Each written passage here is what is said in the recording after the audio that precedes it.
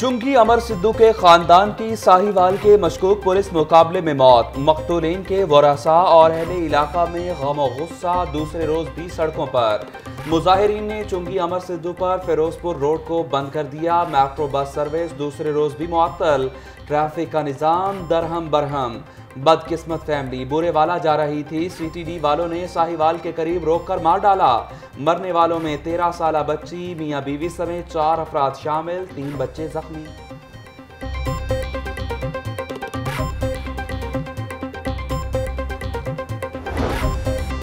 چونکہ مرسدو پر احتجاج فیروز پور روڈ ٹریفک کے لیے بند۔ سٹی ٹریفک پولیس نے متبادل ٹریفک پلان جاری کر دیا۔ قصور جانے والے شہری پنجاب سوسائٹی رنگ روڈ کو استعمال کریں۔ قصور سے آنے والی ٹریفک گجمتا سے روحی نالا کے راستے شہر میں داخل ہو سکتی ہے۔ پیکو روڈ سے کچا جیل روڈ ٹریفک کے لیے بند۔ شہری لاہور قصور جانے کے لیے رنگ روڈ کو ترجیح دیں۔ ترجمان ٹریفک پولیس کے شہریوں کو ہدایات۔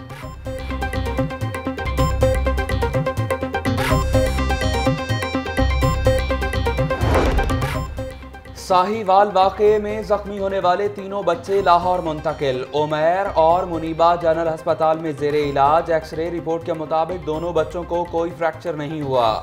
عمیر کو لگنے والی گولی آر پار ہو گئی، ہڈی ٹوٹنے سے بچ گئی۔ ہادیہ کو طبی امداد دینے کے بعد ڈسچارج کر دیا گیا۔ بچوں کے علاج کے لیے سینئر ڈاکٹرز پر مشتمل کمیٹی تشکیل دے دی گئی۔ بچوں کی حالت خطرے سے باہر ہے، مکمل صحتیابی کے بعد ڈسچارج کیا جائے گا۔ پرنسپل جنرل ہسپتال محمد طیب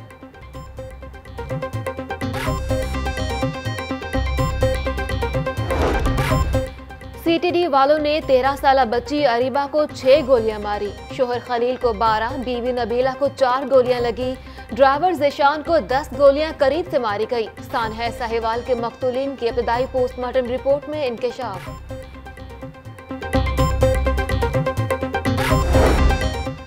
سانحہ ساہیوال پر وزیر اعظم بھی صدمے سے دو چار۔ کہتے ہیں، بچوں کے سامنے والدین کو گولیاں ماری گئیں، صورتحال تکلیف دہ ہے۔ بچوں کی تمام دیکھ بھال کی ذمہ داری ریاست اٹھائے گی۔ جے آئی ٹی کی رپورٹ آتے ہی فوری ایکشن ہوگا۔ عمران خان کا ٹویٹ۔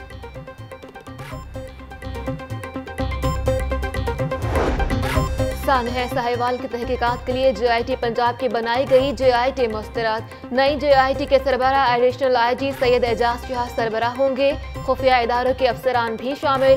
صوبائی محکمہ داخلہ نے نوٹیفیکیشن جاری کر دیا۔ مشکوک کارروائی میں ملوث زیر حراست اہلکار لاہور منتقل۔ تحویل میں لیے گئے اہلکاروں سے چونگ ٹریننگ سینٹر میں جے آئی ٹی بیانات قلم بند کرے گی۔ واقعے کا مقدمہ۔ سی ٹی ڈی لاہور تھانے میں درج ہوگا۔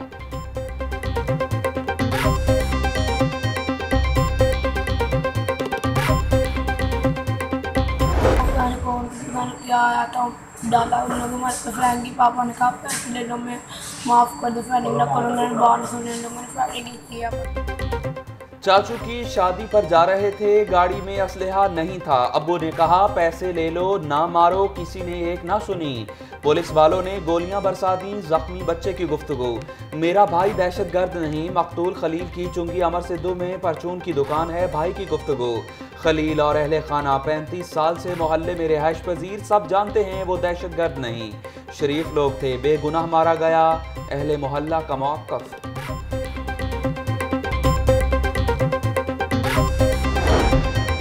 سانحہ ساہیوال پر مسلم لیگ کاف بھی بول اٹھی۔ چودھری مونس لہی کا ذمہ داروں کے خلاف سخت کارروائی کا مطالبہ، بولے سانحہ ساہیوال پر پوری قوم آبدیدہ ہے۔ معصوم بچوں کو آنا فانا یتیم کر دینے والے کسی رحم کے مستحق نہیں، رہنما کاف لیگ کا ٹویٹ۔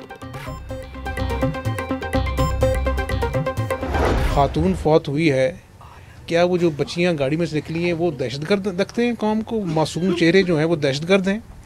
تو یہ حکومت نام کی چیز کہیں نظر نہیں آتی ہے۔ یہ اپنا جو ہے وہ صرف جھوٹ بولنے پر، اپوزیشن کو دیوار سے لگانے پر، گرفتاریاں کرنے پر ان کا زور چلتا ہے۔ یہ کوئی خدا کا خوف کریں کوئی ہوش کے ناخن لیں۔ ساہیوال فائرنگ واقعے پر حمزہ شہباز حکومت پر برس پڑے۔ بولے، کیا جاں بحق ہونے والی خاتون اور بچی دہشت گرد تھی؟ ساہی وال کے واقعے سے حکومت کی نااہلی آیاں ہوتی ہے۔ حکومت کی جانب سے تاہال ٹھوس بیان سامنے نہ آنا تشویش نہ کم رہے پولیس کو چپڑاسی کی طرح ڈیل کیا جا رہا ہے۔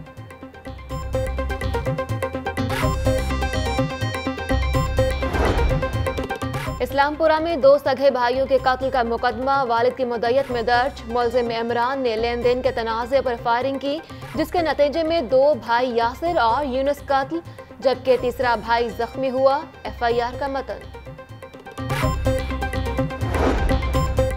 گھروں میں گیس پریشر کم تو بازاروں میں ایل پی جی کی black marketing. L P G mafia کی مصنوعی قلت برقرار۔ سرکاری قیمت سے پینتیس روپے فی کلو مہنگی فروخت شہری ایک سو پندرہ روپے فی کلو والی ایل پی جی ایک سو پچاس روپے میں خریدنے پر مجبور۔ سردی کی لہر برقرار، غریبوں کو تن ڈھانپنے کی فکر۔ گرم کپڑوں کی خریداری کے لیے شہریوں کو لنڈا بازار میں رش، مہنگائی سے پریشان شہریوں کا، قیمتوں میں کمی کا مطالبہ۔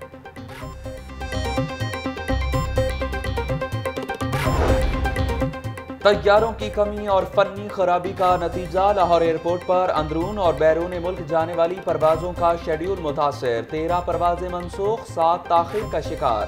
مسافر گھنٹوں انتظار کی سولی پر لٹکے رہے۔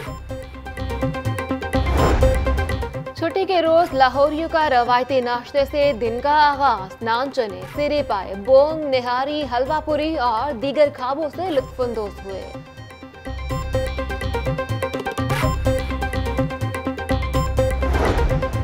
ہر اتوار کی طرح آج بھی گورنر ہاؤس عوام کے لیے اوپن ہوگا۔ شہر کی بڑی بڑی تعداد شہریوں کی فیملیز کے ساتھ امڈ آئی، سیر سپاٹے، موج مستیوں کا سلسلہ جاری۔ اور آسمان پر بادلوں کا بسیرا ہلکی مگر ٹھنڈی ہوائیں۔ مطلع ابر آلود، سردی میں اضافہ ہو گیا۔ محکمہ موسمیات نے بارش کی پیشگوئی کر دی۔